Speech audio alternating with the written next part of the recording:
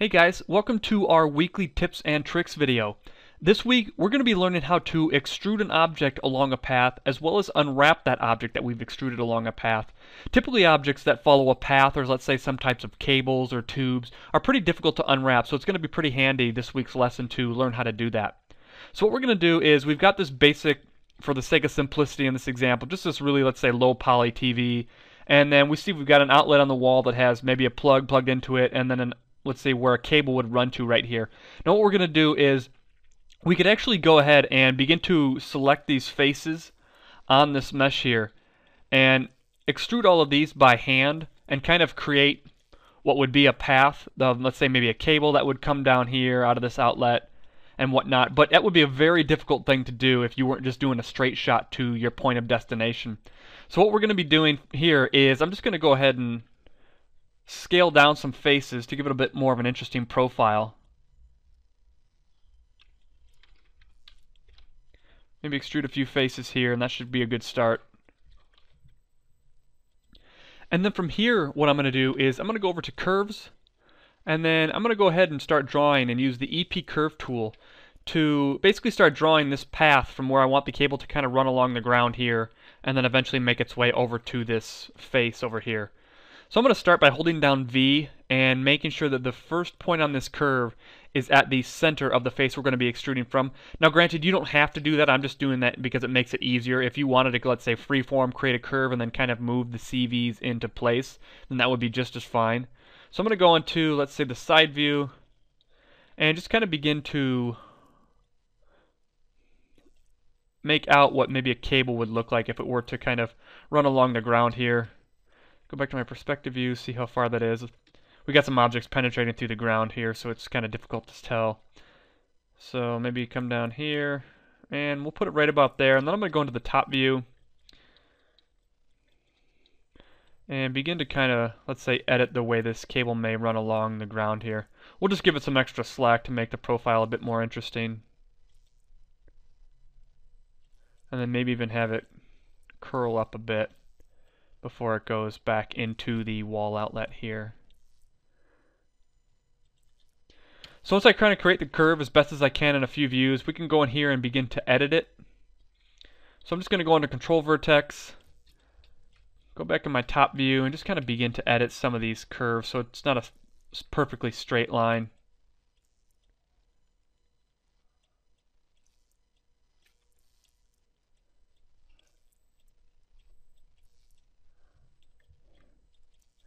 Then maybe go back in here and adjust. We got some pretty sharp turns here in this cable. I don't, I don't think unless maybe the cable was wound up or sat in a certain position for a while that that would be too natural of a shape for a cable to be in.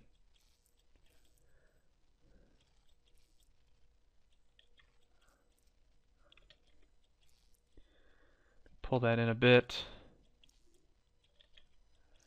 Add a bit more curve to that, and then I think I think that should pretty much do at least for that view. We've got some of these that we created in the top view, so we're going to have to go back into the side. And let's say, I'm just going to go here and move the very end point up to the top. And then just kind of walk through here and see how these curves are looking, or I'm sorry, how these CVs are looking. And again, some of this we may actually go back and use the power of, you know, the history of this command that we're going to use to kind of bring this cable off the ground or off itself a bit more because especially in this coiled part right here we're probably going to have some penetration from where this face is. So let's say for now that's pretty good. So I'm going to go ahead and right click on the curve and go back to object mode. And I'm going to go ahead and select these faces again. Going to hit F to frame in on it. Select these.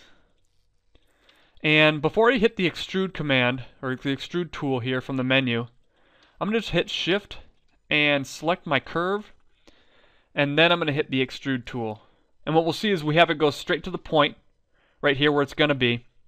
But what's going to allow it to follow the path here is if we go down to divisions, if we begin to basically increase the number of divisions that it has, we can do this by either putting in a number or just selecting on the divisions field and using our middle mouse button in the viewport to kind of drag until we have enough divisions on the cord itself. Now it looks like it stops at 25, but I think we could put in more manual. Says we wanted to go to like 45. That should be that should be pretty good. Now we have the option to do some other things like taper the cord in either direction or add a twist to it. But for the sake of this, we're not going to need to do that. I'm just probably going to add a few more divisions here. It looks like we're getting kind of caught up in this kink right here. So let's say we go to 60 divisions. And I'd say for this example, that should be pretty good. Maybe we'll go in here and fine tune this last face, but that's going to be a, a pretty good example for what we need. So I'm going to go in here, maybe select these vertices, and then just rotate them into place a bit more. Move them into place. And let's say if we needed to, we could go back on a curve level. If we can go find our curve down here and just go back to our control vertices. And we can go and begin to edit this a bit more to kind of help. That actually worked out pretty well in this case, how we've got this kind of wrapping up on top. But if we wanted to add a bit more of a, let's say a, a push off the ground in certain areas, we could definitely go back here and tweak this to our to our liking. But I'd say for this example, that's going to be pretty good. Okay, so what we're going to want to do next is unwrap this cable. Now, I've gone ahead and done a quick, uh, just an auto mapping, an auto unwrap of this other object just to kind of get some of these faces out of the way for when we're dealing with just the cable itself. So you'll see I've got a bunch of extra faces up here, but that's kind of fine for now. So typically what we would do, I'm going to minimize this, but we would try and actually find the mapping modifier that is closest to the object that you're trying to unwrap, which in this case would be a cylinder.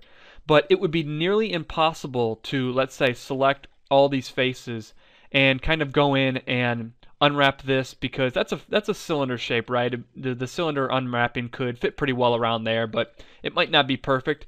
But then we could take this and kind of select these faces and then these faces. And essentially what you'd end up doing is you'd end up using, you know, however many cylindrical unwrapping modifiers to try and unwrap this and then piece it back together. But there's actually a much easier way to go about trying to unwrap an object like this. So what I'm going to do is I'm going to bring back up my UV texture editor. And the only faces that are left down here are the ones for the actual cable. So if I go ahead and select all those, we'll see in the viewport here, those are what's selected. Now if I go to polygons, unitize, what that's going to do is that's going to expand all the faces that we have selected to take up the 0 to 1 space here in the texture editor. So from here what we can do, if I go in and let's say I go into edge mode and I decide what edge, sorry, select this, go into edge mode, and I decide what edge I want my seam to be on. And I can, let's say I just want to use this edge right here. If I go ahead and double click that, it's going to select that whole edge throughout the whole mesh that we have selected here. So from here, what I'm going to do is I'm actually going to hold shift select, or hold shift, I'm sorry, and counter select all the other faces in that cable, not including the ones that were up here that have already been unwrapped. Let me go back here and go back in my edge mode, make sure all those are deselected. So we have all these here. And what if I go to move and sew selected, what you'll see is it's going to put all those basically in place as they should. It's going to basically be a huge column of faces here. Now from here, we have the option of doing one of two things. We can either go ahead and, you know, let's say select all these faces. Sorry, go into UV mode. And select all these, go to shell. And we have this whole piece that we can go now, we can use now.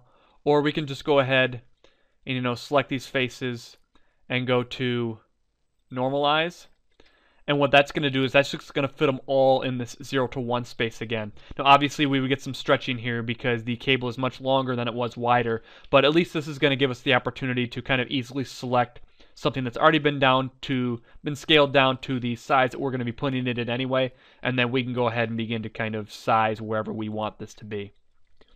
Okay, well that about covers up this weekly tips tricks. Uh, thanks again for watching 3dmotive.com.